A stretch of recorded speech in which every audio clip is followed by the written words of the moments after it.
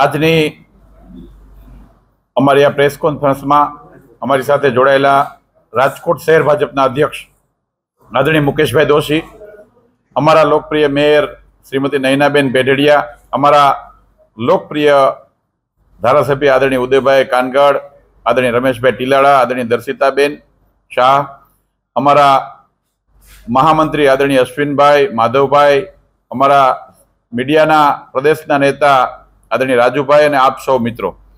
મિત્રો, આપ સૌ જાણો છો એવી રીતે આપણી આન બાન ને શાનનું પ્રતીક એ તિરંગો છે. ભારતના શૌર્ય, શાંતિ અને સન્માનમાં ઉન્નત ભાવને ઉજાગર કરે છે. વડાપ્રધાન શ્રી નરેન્દ્ર મોદી સાહેબે હર ઘર તિરંગા સંકલ્પને આગળ વધારતા દેશમાં એક, દેશની જનતામાં એક દેશ ભક્તિ માટેનો નવો ભાવ પ્રગટ થયો છે. ફરી એક વખત રાષ્ટ્રભાવનાની લહેર સમગ્ર દેશમાં જોવા મળી રહી છે.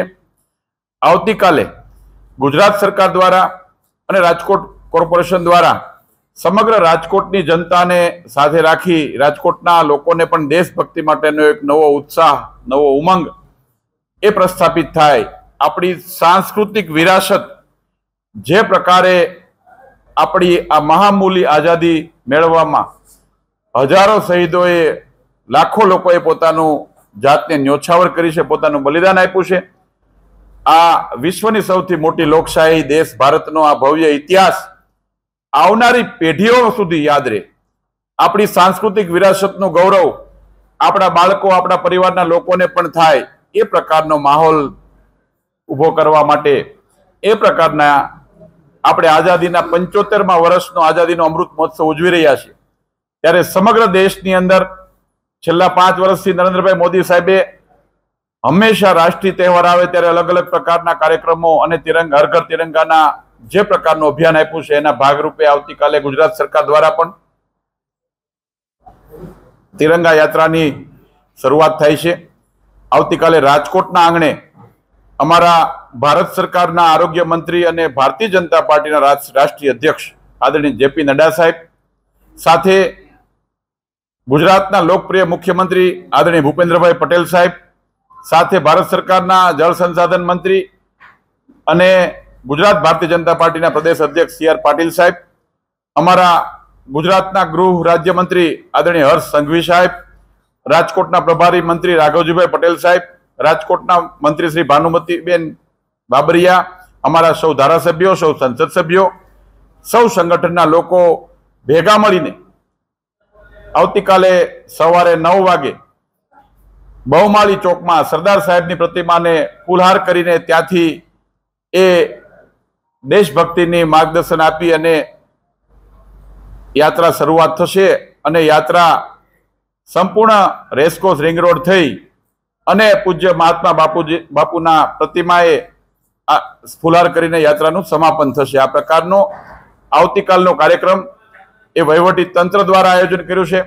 પરંતુ હું ભારતીય જનતા પાર્ટીના પ્રદેશના આગેવાન તરીકે આપ આપના માધ્યમથી સૌ રાજકોટવાસીઓને વિનંતી કરું છું કે આ કાર્યક્રમ એ કોઈ પોલિટિકલ પાર્ટીનો કાર્યક્રમ નથી.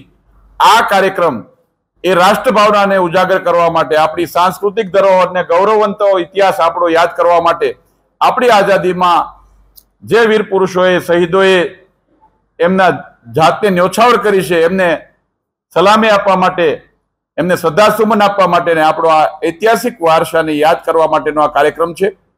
આ કાર્યક્રમમાં સમગ્ર રાજકોટમાંથી અલગ અલગ સ્કૂલો, અલગ અલગ કોલેજો, અલગ અલગ ઇન્સ્ટિટ્યૂટો, અલગ અલગ ઉદ્યોગ ધંધાના સૌ એસોસિએશનના લોકો, અલગ અલગ રાજકોટના સામાજિક લોકો, અલગ અલગ સામાજિક સંસ્થાઓ, રાજકોટની અંદર ચેરિટેબલ ટ્રસ્ટના સૌ ટ્રસ્ટીઓ, અલગ અલગ સમાજની અંદર સેવાકીય પ્રવૃત્તિ કરતી સંસ્થાના લોકો સૌ રાજકીય ક્ષેત્રમાં કામ કરતા ભારતીય જનતા પાર્ટી અને અન્ય પક્ષના પણ લોકો સમગ્ર કોર્પોરેશનની આખી ટીમ વહીવટી તંત્રની આખી ટીમ બધા ભેગા મળીને રાજકોટના રાજમાર્ગો ઉપર એક લાખથી વધારે સંખ્યામાં તિરંગા યાત્રામાં સૌ જોડાવા માટેની તૈયારી કરી છે. આપના માધ્યમથી હું રાજકોટ વાસીઓને પણ વિનંતી કરું છું કે આપણે સૌ ભેગા મળીને આવતીકાલનો આ પ્રસંગ આવતીકાલનો આ દેશભક્તિ માટેનો ઉત્સવ આપણે ભેગા મળીને ઉજવીએ. કારણ કે આપણે બધાએ જોયું છે કે આજે સમગ્ર વિશ્વની અંદર જે પ્રકારની સ્થિતિનું નિર્માણ થયું છે, આસપાસના દેશોમાં પણ જે પ્રકારની પરિસ્થિતિનું નિર્માણ થયું છે, એવા સમયે કોઈ પણ રાષ્ટ્ર ત્યારે જ સલામત છે કે જેમની રાષ્ટ્રભક્તિ અને એ રાષ્ટ્રના લોકોને દેશ પ્રત્યેનો પ્રેમ, ગૌરવ એ હંમેશા અખંડિત રહે એ આપણા બધા માટે આપણી આવનારી પેઢી માટે જરૂર છે ત્યારે આ કાર્યક્રમને એ રાજકોટ વાસીઓએ પોતાનો કાર્યક્રમ બનાવ્યો એ પ્રકારનો ઉત્સાહ અમે છેલ્લા અઠવાડિયાથી જોઈ રહ્યા છીએ. આખા રૂટ દરમિયાન અલગ અલગ પ્રકારના બેન્ડ દ્વારા રાષ્ટ્રભક્તિના ગીતો ગવાવાના છે. અલગ અલગ પ્રકારના કલાકારો દ્વારા એ રાષ્ટ્રભક્તિ અને વીર શહીદોના જે સ્લોગનો છે એના અલગ અલગ પ્રકારના ઉચ્ચારણો અને લોકોની વચ્ચે એક આપણા સાંસ્કૃતિક વિરાસત અને ભવ્ય આપણો ઐતિહાસિક વારસો છે. એનું પણ દર્શન થવાનું છે. હું માનું છું કે આ રાષ્ટ્રભાવનાનો કાર્યક્રમ એ રાજકોટની જનતા માટે એક નવો સંદેશો આપે, નવી ઊર્જા મળે અને આવનારા દિવસોમાં આપણી આઝાદીની આ પંચોતેરમું વર્ષ આપણે ઉજવી રહ્યા છીએ, એ વારસો આપણા સૌના પરિવાર સુધી પહોંચે એ પ્રકારની ભાવના સાથેનો આ કાર્યક્રમ ગુજરાત સરકારનો અને સૌ રાજકોટવાસીઓને સંયુક્તપણે થઈ રહ્યો છે. ત્યારે આપણે બધા ભેગા મળીને આ કાર્યક્રમમાં સહભાગી થઈએ અને આપ સૌને મોટી સંખ્યામાં પરિવાર સાથે ઉમટી પડવા માટે હું સૌને અપીલ કરું છું વિનંતી કરું છું.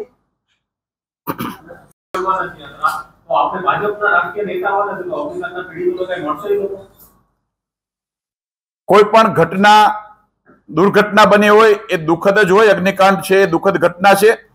એના પીડિતોને અમારા મુખ્યમંત્રી અમારા તાલુકા અમારા શહેરના ધારાસભ્યો વોર્ડના કોર્પોરેટરો અમારું સંગઠન ઘટના બની ત્યારથી અત્યાર સુધી કન્ટિન્યુ એના સંપર્કમાં છીએ. નાના મોટી મુશ્કેલીઓમાં અમે એના પરિવારની સાથે ઊભા છીએ અને હજી પણ આવનારા દિવસોમાં કોઈ પણ ઘટના એમને જરૂરિયાત હશે અમારી જ્યાં જ્યાં લેવલે. એને ન્યાયની વાત આવતી હોય કે એના પરિવારની કોઈ મુશ્કેલી હોય એની સાથે અમારી આખી પાર્ટી અમારી સરકાર એમની સાથે છે અને કાયમી માટેની અમારી જવાબદારી છે.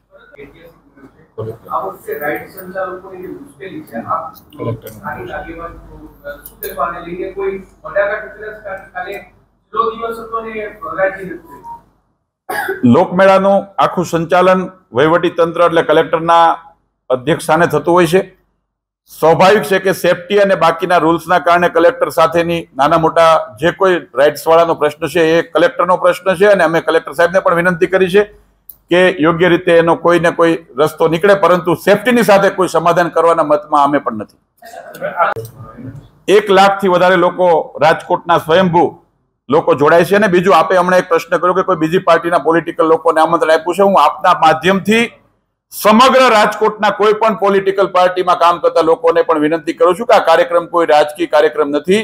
આ કાર્યક્રમ દેશભક્તિનો કાર્યક્રમ છે દેશના નાગરિક તરીકે આપણી બધાની જવાબદારી છે કે આપણી સાંસ્કૃતિક વિરાસત, આપણી ધરોહર જળવાઈ રહે. એના માટેનો કાર્યક્રમ છે. આ કાર્યક્રમ શહીદોને શ્રદ્ધાંજલિ આપવાનો કાર્યક્રમ છે, સલામી આપવાનો કાર્યક્રમ છે. અને એમણે આપેલી શહીદીને યાદ કરવાનો સમય છે. ત્યારે બધા લોકો જોડાય. એવી હું આપના માધ્યમથી વિનંતી કરું છું અને સૌને આમંત્રણ પણ આપું છું. એમને એવું કહ્યું છે કે આ છેલ્લી યાત્રા નથી આવી યાત્રાઓ બે હજાર સત્યાવીસ સુધી જ્યાં સુધી ભાજપની સરકારને પાડીએ નહીં ત્યાં સુધી આ યાત્રા. અમિતભાઈ ચાવડા અત્યારે પણ કહ્યું કે ભાજપ માત્ર રાજકીય રસ ખાટવા અત્યારે યાત્રા યોજી મારે આ પ્રશ્નને આજે રાજકીય સ્વરૂપ નહોતું આપવું પણ આપણે પ્રશ્ન પૂછ્યો એટલે મારે એનો જવાબ આપવો છે કે છેલ્લા અઠ્યાવીસ વર્ષથી ગુજરાતના લોકોએ આશીર્વાદ આપીને ચૂંટેલી સરકાર શાસન કરે છે. કોંગ્રેસના લોકોએ એના ભૂતકાળને યાદ કરવાની જરૂર છે. ભૂતકાળમાં ગુજરાત એ અલગ અલગ શહેરો ગુંડાઓના નામથી ઓળખાતું હતું. લોકોની શાંતિ અને સલામતી કોંગ્રેસના શાસનમાં હતી નહીં. છાસ વારે કરફ્યુ થતી હતી. વારંવાર ગુજરાતને અશાંત કરવા માટેની જે તે વખતનો ઇતિહાસ હજી ભૂલાણો નથી અને કોંગ્રેસના શાસનમાં ગોળીબારો પણ થયા છે અને કોંગ્રેસે કઈ પ્રકારનું શાસન આપ્યું એ ગુજરાતની જનતા ભૂલી નથી અને મને ગુજરાતની જનતા પર ભરોસો છે, વિશ્વાસ છે. અને મહેરબાની કરીને ગુજરાતની શાંતિને ડોળવા માટેના કોઈ પ્રયત્ન ન કરે અને પોલિટિકલ એજન્ડા સાથે કામ કરે એમાં અમને વાંધો નથી. પરંતુ આ રાજકોટ એ રંગીલું રાજકોટ છે ને રાજકોટનો ઇતિહાસ પણ એક અમૂલ્ય ઇતિહાસ છે. ત્યારે કોઈ પણ ઘટનાને લઈને ઘટના બની હોય, દુઃખદ હોય, હું આજે પણ કહું છું, સ્વીકારીએ છીએ. આ ઘટના બન્યા પછી કેટલા કોંગ્રેસી લોકોએ પરિવારની મદદ માંગ્યા છે? ફક્ત ને ફક્ત ઘટનાને ખંભે બંદૂક રાખી અને રાજકારણ કરવા નીકળેલી કોંગ્રેસે દિવા સ્વપ્ન જોવે છે. ગુજરાતની જનતા ક્યારેય ગુજરાત પર કોંગ્રેસનો હાથ નહીં મૂકવા દે. મને ગુજરાતની જનતા ઉપર વિશ્વાસ છે. ભૂતકાળનું ગુજરાત હજી અમે ભૂલ્યા નથી. એ ભૂતકાળ રાજકોટનું પાણી વગરનું રાજકોટ હતું. એ ભૂતકાળ ઇલેક્ટ્રિક વગરનું રાજકોટ હતું. લાઇટ નહોતી મળતી. એ ભૂતકાળમાં બેનો દીકરીઓ ઘરની બહાર નહોતી નીકળી શકતી. એ પ્રકારની ગુંડાગર્દીમાંથી ગુજરાતની જનતાએ મુક્ત કર્યું છે ને ગુજરાતે પોતાની સરકાર બનાવી છે, જનતાની સરકાર છે ને આજે લોકો માટે સુખાકારીના કામ કરી રહ્યા છીએ. એટલા માટે હું વિનંતી કરું છું કે ક્યારેય કોઈ શહેરની કે કોઈ વિસ્તારની એક ઘટના બની હોય એના આધારે આખા શહેરને બાનમાં લઈને એને ડિસ્ટર્બ કરવાની જરૂર નથી, એની શાંતિ ડોળવાની જરૂર નથી. લોકો નક્કી કરશે આવનારા દિવસોમાં કે કોને સત્તા પર બેહાડવા. એ જનતાનો પ્રશ્ન છે, પણ હું વિશ્વાસ સાથે કહું છું કે ગુજરાતની જનતાના આશીર્વાદ આદરણીય નરેન્દ્રભાઈ મોદી સાહેબના નેતૃત્વને મળ્યા છે ને મળતા રહેવાના છે.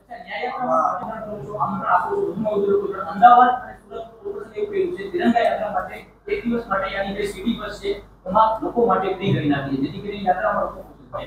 આપણે કોર્પોરેશન આપણી આ રીતે શું આપણે કહી શકીએ ખરા? કે જેથી વધુમાં વધુ લોકો તમારું સૂચન આવકારીએ છીએ. અમે આજે તંત્રને વાત કરી અને એના માટેનો પણ રસ્તો કરીએ છીએ. ભ્રષ્ટાચાર શબ્દ કોંગ્રેસને પહેલા તો સોંપતો જ નથી. એ બધાએ ગળા ભરેલા હતા કોંગ્રેસના ભ્રષ્ટાચારથી. રોજ સવારમાં ઉઠીને એક નવો કાંડ કોંગ્રેસની સરકારમાં આવતો હતો તમે બધા પણ લખતા હતા અમે પણ વાંચેલા છે. એટલા માટે કોંગ્રેસ ભ્રષ્ટાચાર માટેની વાત કરે. અને કોંગ્રેસના વડવાઓ હજી અડધા જેલમાં છે, હજી અડધા કોર્ટના ચક્કરો કાપે છે. અને હજી કોંગ્રેસના નેતાઓની ઘરે કરોડો રૂપિયા રોકડા મળે છે. એ કોંગ્રેસ અમને ભ્રષ્ટાચારની વાત શીખવાડવા નીકળે છે. એ કોંગ્રેસ કયા મોટે લોકો પાસે ભ્રષ્ટાચારની વાત કરે છે? એટલે કોંગ્રેસનો ઇતિહાસ ભ્રષ્ટ છે. એ આખી ભ્રષ્ટાચારથી ખડાયેલી પાર્ટી છે. એટલા માટે આ પ્રકારના એમને દિવા સ્વપ્ન આવતા નીચે એક નાટક કરે છે.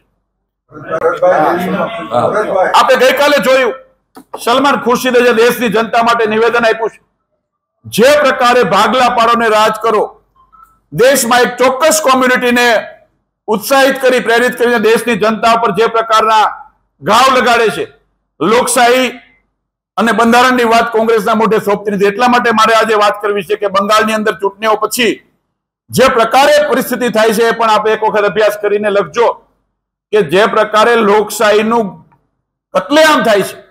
જે પ્રકારે કોંગ્રેસના લોકો દ્વારા અત્યાર સુધી દેશમાં ચલાવવામાં આવ્યું છે. એમાં અનેક બાતો કોંગ્રેસની છે, એ દેશની જનતાએ કટોકટીના કાળા દિવસોને પણ નથી ભૂલી. અને ઇન્દિરાજીના શાસનમાં કોંગ્રેસે એમની સત્તા ટકાવી રાખવા માટે અનેક રાજ્યોની અંદર રાષ્ટ્રપતિ શાસન લાદેલા દાખલા એ દેશની જનતા ભૂલી શકી નથી. કોંગ્રેસ એવું કહે છે કે ભાજપનું શાસન આવ્યું ત્યારે ત્યાર પછી એક બાર એક બાદ એક અગ્નિકાંડ થાય છે. ભાજપ એક પણ પ્રકારના કડક પગલા લેતી નથી. જેની મુખ્ય અરે આપ આપની વાત કરું. કોંગ્રેસના સમયમાં ખેડૂતોએ વીજળી માંગવા માટે ગાંધીનગર કૂચ કરી હતી. અને આજે પણ ગાંધીનગરની ધરતી પર અઢારથી વધારે ખેડૂતોની ખાંભીઓ છે. એ કોંગ્રેસના શાસનમાં ખેડૂતો પર ગોળીબાર કરવામાં આવ્યો હતો. કોંગ્રેસના શાસનમાં ખેડૂતોના સીમ ચોરી થતી હતી પાકેલો ઉત્પન્ન થયેલો પાકને લઈ શકતા નહોતા. સૌથી વધારે આ દેશના રાજ્યના ઇતિહાસમાં સીમ ચોરી થઈ હોય તો કોંગ્રેસના શાસનમાં થઈ હતી સૌથી વધારે એ વખતે ગુંડાગર્દી થઈ હોય સૌથી વખતે જેલ બંધ કરવી પડી હતી પોરબંદરની. ત્યાં બોર્ડ લાગતા હતા કાયદો ની વ્યવસ્થા અહીંથી ચાલુ થાય છે. ધારાસભ્યોના ખૂન થયા છે કોંગ્રેસના સમયમાં. હું એમાં પડીશ તો બહુ લાંબુ થશે. પ્રધાનોના ખૂન થયા છે કોંગ્રેસના ધારાસભ્યોના ખૂન થયા છે. પંદરમી ઓગસ્ટના તહેવારો પર ખૂન થયા છે. એ કોંગ્રેસ અત્યારે ગુજરાતને સલાહ દેવા નીકળી છે. કોંગ્રેસનો ઇતિહાસ ગુજરાતની જનતા ભૂલી નથી અને આવનારા વર્ષો સુધી નહીં ભૂલે એ પ્રકારનો એમનું શાસન અને એમનો ઇતિહાસ એ ગુજરાતની જનતાની વચ્ચે છે. સમય આવે ત્યારે જનતા એમને બતાવશે. ગમે તે પ્રકારની ભાષાનો પ્રયોગ કરી મેં ફરી વખત કીધું કે રાજકોટ એ રંગીલું રાજકોટ છે અને ગુજરાતની રાજનીતિમાં અને ગુજરાતના વિકાસમાં રાજકોટનું ખૂબ મહત્વનું યોગદાન છે. અને એટલા માટે જ રાજ્ય લેવલના કાર્યક્રમની શરૂઆત આવતીકાલે અમારા સૌ આગેવાનો રાજકોટના આંગણેથી કરે છે. રાજકોટ માટે ભારતીય જનતા પાર્ટીના હૃદયમાં પણ અલગ પ્રકારનું સ્થાન છે. ત્યારે રાજકોટની આ રંગીલા રાજકોટની ઓળખને કોઈ પણ પ્રકારે ડિસ્ટર્બ કરવાનો પ્રયત્ન કરશે તો રાજકોટની જનતા અને ગુજરાતની જનતા એને ચલાવશે નહીં. મેં પહેલા કીધું કે કોઈ પણ ઘટના બની હોય, એ ઘટનાની તપાસ થાય, એની ઉપર કડકમાં કડક ન્યાય થાય. આપણે વાત કરીએ એટલા માટે મોરબી કાંડની હું વાત કરું. કોંગ્રેસની નીતિઓની વાત કરું કે કોંગ્રેસના લોકો ક્યારે કોઈ કાંડના પીડિતોને ન્યાય પાવા માટે નથી હોતા, એનું પોલિટિકલ એજન્ડા સેટ કરવા માટે, રાજકીય રોટલા સેટ કરવા માટે કામ કરે છે. મોરબીની અંદર જે દુર્ઘટના બની, એની અંદર કોંગ્રેસે જ વકીલ રખાયા છે. કોંગ્રેસની માનસિકતાવાળા વકીલ વારંવાર કોર્ટની અંદર હાજર નથી રહેતા. આપે સરકારી વકીલની પણ પ્રેસ કોન્ફરન્સ જોઈએ છે હમણાં. ન્યાય અપાવો હોય તો કેમ તમે કોર્ટમાં હાજર નથી રહેતા? એક બાજુ પ્રજાની વચ્ચે ન્યાયની વાત કરો છો અને બીજી બાજુ આ ઇસ્યુ લાંબા ચાલે, કોઈ પણ ઘટનાને પીડિતોના ખભે બધું રાખી અને રાજનીતિ કરવા નીકળેલી કોંગ્રેસને ગુજરાતની જનતા અને ખાસ કરીને સૌરાષ્ટ્રની જનતા સારી રીતે ઓળખે છે.